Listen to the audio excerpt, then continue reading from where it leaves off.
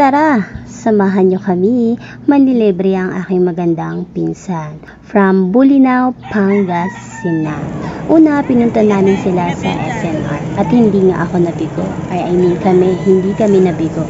Nilibre nga kami ng pizza, chicken with rice, Ano, at iba pa. At pansinin nyo naman, yun o yung nakakulay green at ang kanyang sister-in-law. O, di ba? Todo kayo. Pwede rin naman picture. Abe, dili Ang picture ganda ka na. talaga ng pinsan ko. At hindi mapagkakailang pinsan ko talaga siya. O, di ba? To see is to believe. Siyempre, hindi ako papatalo, no? Char, cherries lang po.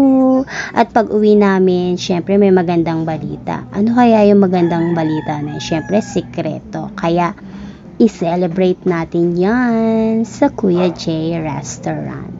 Ganda talaga ng pinsan ko, di ba? So, ito for memories tong video na to. Kasi syempre, ngayon lang sila nakapunta ng Maynila.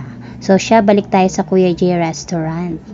So, ito po yung kanya mga nilibre sa amin. So, kanya-kanya po kaming order.